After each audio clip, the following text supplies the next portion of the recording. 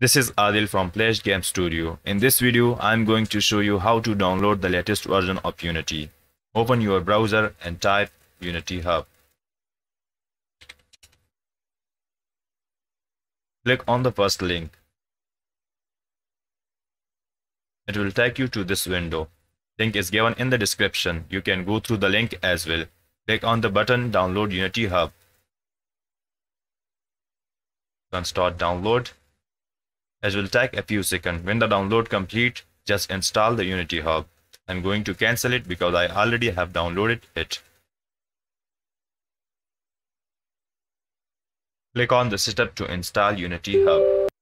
Click on agree, install, and wait for a few seconds to complete the installation. Now we have done with Unity Hub. Click on finish. Open Unity Hub. Click on Install option and hit the Add button. This pop-up window will appear. Select the first radio button. This is the latest version of Unity. It is the long-term support version. If you would like to create your own project, then you should work with this version. Click on the next button. Select the first checkbox, which is Microsoft Visual Studio Community 2019 and these are all the platforms. If you would like to create game for other platforms such as Android, iOS, Linux, Mac, etc. So you can select that here. I'm going to work with Windows, so I'm going to select Windows Build Support.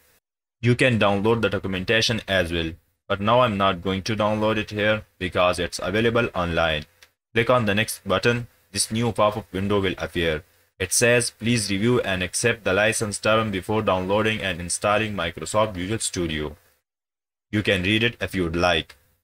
Just select this checkbox and click on done button. Your download will begin in a second. So when the download complete, you can use the latest version of Unity.